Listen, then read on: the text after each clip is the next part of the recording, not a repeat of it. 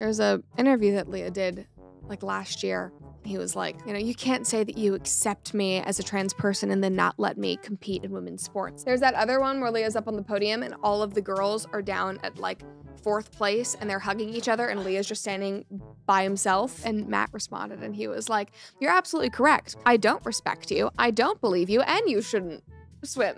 Welcome back to the comment section. I'm Brett Cooper. Last month, we did a couple of actually uplifting videos about the state of the world and how it feels like the pendulum is slowly starting to swing back to normalcy. We talked about the frat guys pushing back against the literal Antifa on their campuses and holding up the flag amidst all of the protesters. We talked about Target limiting their children's pride line and Trump absolutely blowing Biden out of the water on TikTok, which is just insane. There is just a lot of good stuff happening. And today, we have yet another that we need to talk about because there has been a huge win for common sense. Lia Thomas, aka the country's first transgender D1 NCAA champion, has been barred from qualifying for the Olympics to compete against women, which is just incredible news. If you had asked me two years ago if this would have happened, I genuinely do not know what I would say. Like when we were in the thick of talking about this, watching all of this happen on college campuses, I genuinely did not think this was possible. But here we are today. We have to talk about it. Before we do, though, make sure that you like this video, subscribe to the channel if you've not already, and ring that notification bell so that you never miss one of our comment section episodes. So if you guys do not know the Lia Thomas story,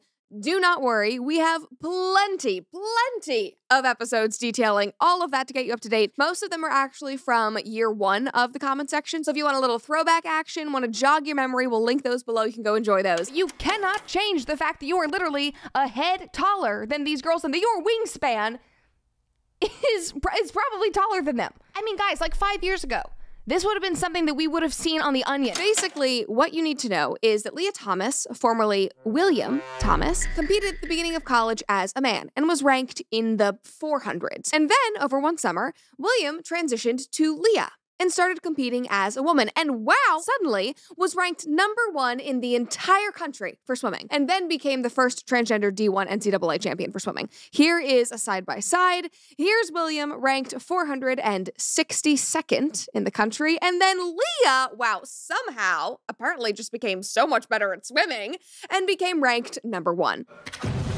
So, how do you like my swimming? And one cool fact about Lia and this whole story is that Lia's transition and subsequent victories was actually a very important hero's origin story because tying with Lia and then being told that they were choosing Lia as the winner over her was the incident that inspired Riley Gaines to start speaking out and start her work in protecting women's sports. And here they are with Lia on the podium above her even though they tied down to the second. And I don't know if you guys have seen this photo before, but it is just so iconic. Like, I love the fact that Riley did not even try to hide the way that she was feeling. And that is exactly what you should be doing in moments like these. You should not feel like you need to be silenced. You should not feel like you need to hide the way that you're feeling. The only thing that you should be hiding is your personal data when you're browsing online. Now, going online without ExpressVPN is like using your smartphone without a protective case. Most of the time, you will probably be fine, but all it takes is one accidental drop onto solid concrete to make you wish that you had protected yourself. So now think about your personal data. Every time that you connect to an unencrypted network in cafes, hotels, or airports, your online data is not secured. Any hacker on the same network can gain access to and steal your personal data. And it really doesn't take much technical knowledge to hack someone. All you need is some cheap hardware, and hackers can make up to $1,000 per person selling your personal information information on the dark web. And ExpressVPN solves this problem. ExpressVPN creates a secure encrypted tunnel between our devices and the internet so that hackers can't steal our sensitive data. And I love how ExpressVPN is so easy to use. I've told the story hundreds of times now, but I was required to use VPNs while I was at UCLA, and it was the most irritating, aggravating thing on planet Earth. There were like four of them. Sometimes it didn't work. They would slow down the Wi Fi. It was just so bad. ExpressVPN is not like that at all. I actually enjoy using ExpressVPN. All you need to do is fire up the app, you click one button to get protected, and it works on all of your devices, phones, laptops, tablets, and more, so you can truly stay secure on the go. So start securing your online data today by visiting expressvpn.com slash Cooper, which will get you an extra three months free. Again, guys, that is expressvpn.com slash Cooper. Again, your data is what you should be hiding, not your face when literal injustice is happening right in front of you, like it was with Riley. Now, obviously, if you guys have been paying attention to the news for the past couple of years, since this occurred, people have been battling out this issue on social media, in municipal governments, obviously, on the federal government as well. And Lia undeterred amidst all of that, set sights on the Paris 2024 Summer Olympics to compete, obviously, in the women's division. Because why wouldn't Lia? Why wouldn't you? Well, it makes total sense, of course. But Lia quickly realized that that was not going to be as easy as Lia had anticipated. Because that same year, the World Aquatics governing body stepped up and updated their policy for transgender athletes to be more strict. In one article that covered this, they wrote